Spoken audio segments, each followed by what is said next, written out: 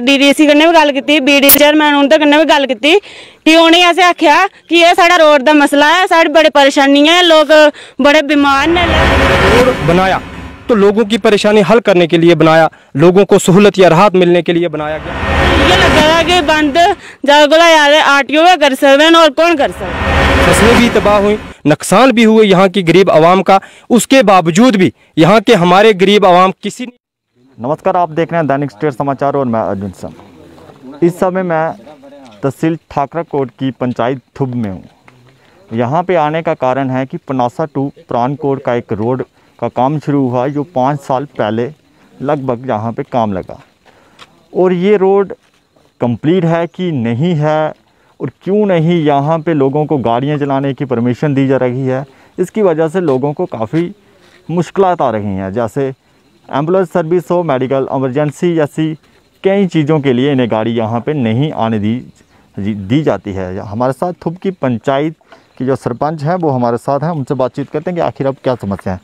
आप अपना नाम बताएँ। सबसे पहले मैं आपका शुक्रिया अदा करती हूँ और मैं सबसे पहले डोगरी में बोलूँगी। जी जैसे साढ़ा जेह्का रोड है ते पंज साल होई गे बने दे। दो साल इद्धर अ, गड्डियाँ बी चलियाँ हून असें एह् पता निं ऐ असें डीडीसी कन्नै बी गल्ल कीती बीडीसी चेयरमैन उं'दे कन्नै बी गल्ल कीती कि उ'नेंगी असें आखेआ कि एह् साढ़ा रोड दा मसला है साढ़ी बड़ी परेशानी है लोग बड़े बीमार न इसलै होआ दे सर्दियाँ दा मौसम है इत्थै होर ते कम से कम दूर रेहा इक मैडिकल इत्थै असेंगी एंबुलेंस नहीं मिला दी ऐ। साढ़ा इ'यै एडमिनिस्ट्रेशन से अ, उं'दे कोला साढ़ी इ'यै रिक्वेस्ट है कि जल्दी कोला जल्दी एह् साढ़ा रोड दा मसला जेह्का एह् हल कीता जाना चाहिदा ते साढ़ी इ'यै मांग है लोकें दी साढ़े लोग बी बेघर होए दे इस रोड दी वजह कन्नै अज्ज अगर असें रोड उप्पर चलने आस्तै परमिशन नहीं है अगर रोड दे होंदे होई बी अस चार पाई दा इस्तेमाल करचै ते साढ़े लोकें आस्तै शर्म होनी चाहिदी है पहले तुस मिगी दस्सो कि थुआढ़ी पंचायत ही रोड कंप्लीट है इस बेल्ले थोड़ी इस वाला रोड कंप्लीट है अगर कंप्लीट नहीं है तो दो साल पहले गड्डियाँ क्यों चलियाँ? मतलब कि इस रोड पर पहले गड्डियाँ चलदियाँ हैं हूँ बंद कुन्ने कराइया? असें ये कोई पता नहीं है कि बंद कुन्ने बनाई दियाँ। एह् असें इ'यै लग्गा दा कि बंद ज़्यादा कोला ज़्यादा आर टी ओ गै करी सकदे न कौन करी सकदा आर टी ओ द्वारा गड्डियाँ बंद कीतियाँ जंदियाँ पर उ'नें दस्सेआ होना ना कि गड्डियाँ पा की नहीं इत्थै चली सकदियाँ नेईं उ'नें असें कोई निं दस्सेआ। एह् रोड पास है कि नहीं?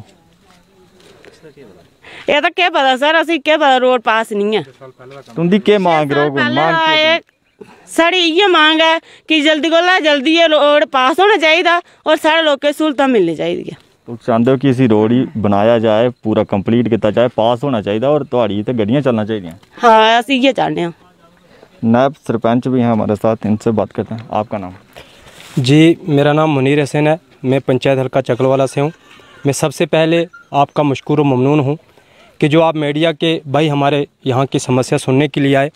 यहाँ थुप की सरपंच भी हैं, मेरे चकलवाला के दो पंच यहाँ पे खड़े और पब्लिक भी है। तो हमारी सबसे बड़ी समस्या यही है कि आपके माध्यम से हम डिस्ट्रिक्ट एडमिनिस्ट्रेशन को ये रिक्वेस्ट करते हैं। हमारे यहाँ से पीछे पंचायत हल्का चकलवाला है, पंचायत हल्का नाड़कोट है, पंचायत हल्का डग्गी कोट है। हम ये चीज़ चाहते थे और बड़ी खुशी हुई थी हमें जब ये रोड का काम शुरू हुआ कि हमें भी आज़ादी मिले। सत्तर साल से इस इलाका जात को नज़रअंदाज करके रखा गया था क्योंकि इस तरफ़ कोई भी गाड़ी की कोई भी ऐसा कोई सड़क नहीं शुरू किया गया था। लेकिन जब से ये सड़क शुरू हुआ था पनासा से Parankot P M G Y scheme के तहत तो यहाँ तक जब रोड दो साल यहाँ पे गाड़ियाँ चली और छः साल इस सड़क को काम शुरू हुए हुआ है। लेकिन अभी कुछ तीन चार महीने पहले यहाँ के कुछ अ, मैं किसी पे एलिकेशन नहीं लगाऊँगा। यहाँ पे सुनने में ये आया कि कुछ मैटे मैटाटोर वालों ने कंप्लेन की, यहाँ की लोकल गाड़ियाँ, पैसेंजर, जो छोटी गाड़ियाँ, वो नहीं चलनी चाहिए। हम नहीं ये चीज़ कहते।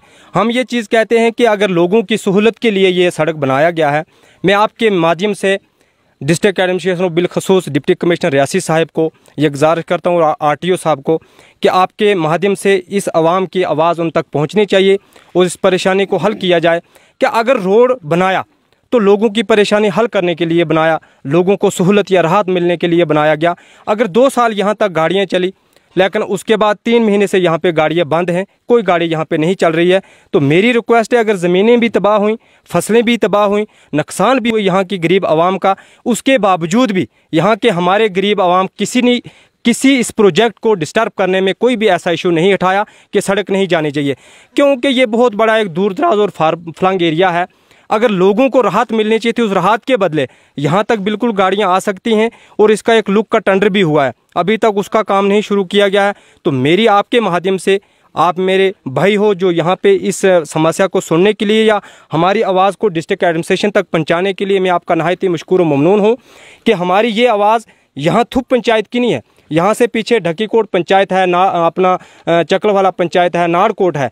ये उस पूरी आवाम बल्कि थूप पंचायत, चार पंचायतों के आवाम की रिक्वेस्ट है कि यहाँ तक गाड़ी चलनी चाहिए। हम नहीं कहते कि मेटाडोर बना लें, चलें। यहाँ जो भी छोटी गाड़ियाँ हों, चाहे वो मेटाडोर हों, सब चलें और यहाँ तक चलनी चाहिए, तब जाके यहाँ पे राहत मिल सकती है। तो मेरी सबसे बड़ी रिक्वेस्ट यही है डिस्ट्रिक्ट एडमिनिस्ट्रेशन से, आपके माध्यम से, आपके चैनल के माध्यम से, कि अगर यहाँ पे इतनी बड़ी परेशानी है, कई बार जो हमारी बहन या माता रास्ते में ही डिलीवरी के केस में कई बार यहाँ पे डेथ भी हुई। चार पे उठा के अगर यहाँ से पनासा जाके हमें एंबुलेंस मिलती। अगर आज 12 किलोमीटर रोड, पुलिस चौकी थनोल तक कंप्लीट है, उसके बावजूद भी यहाँ की आवाम को दबाया जा रहा है।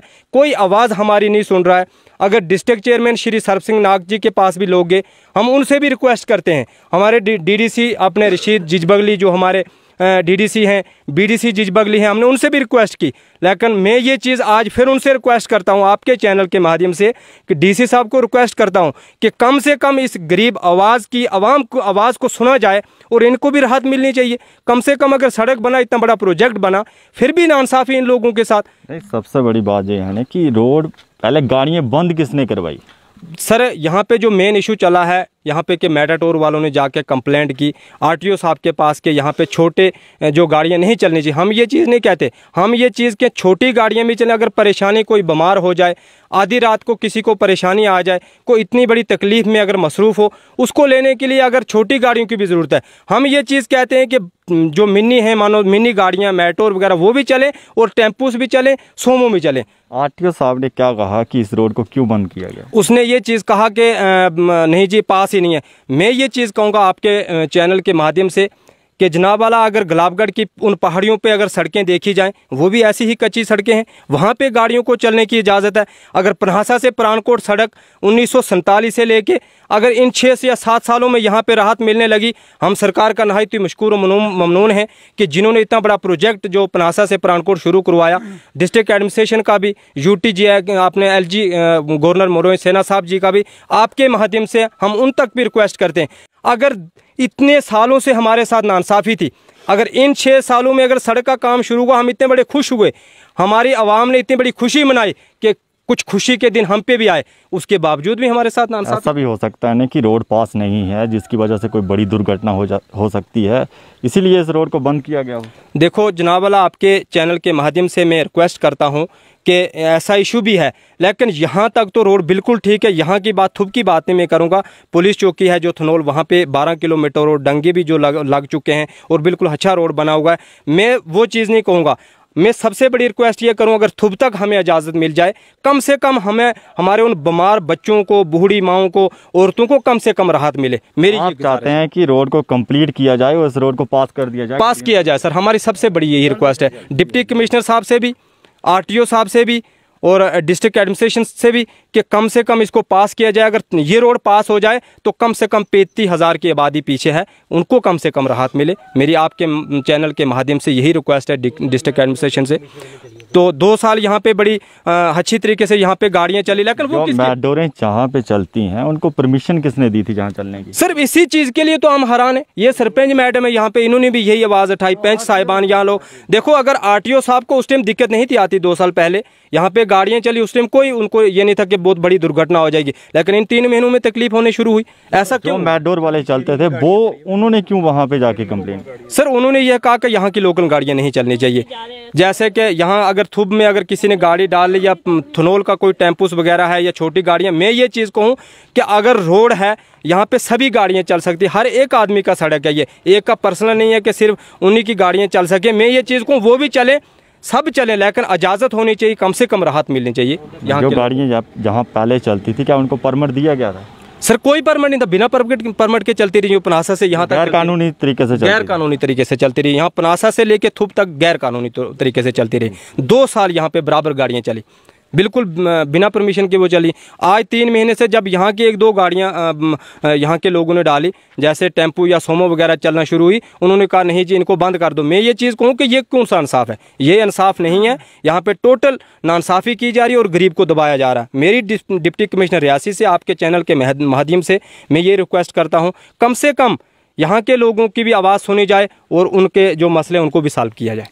शुक्रिया ये थे हमारे साथ यहाँ के थुब पंचायत के सरपंच और पंच, इनको कहना है कि पाँच साल पहले रोड तो बनाया गया, पर आज तक इस रोड में ना तो ब्लैक टॉप की गई और ना ही यहाँ पे गाड़ियों को चलने की परमिशन दी जा रही है। आने वाले टाइम में कहीं बड़ी दुर्घटना होती है या कोई बीमार होता है, उन्हें एंबुलेंस भी यहाँ पे आने की अनुमति उसको भी नहीं दी जाती है। कारण क्या है? क्यों नहीं इस रोड को पास किया जा रहा है? जल्द इस रोड को कंप्लीट किया जाए ताकि ये दूर दराज के लोगों को रोड की फैसिलिटी मिले और ये अपनी छोटी बड़ी सुविधाओं के लिए गाड़ी का इस्तेमाल कर सकें। आप देखते रहें स्टेट समाचार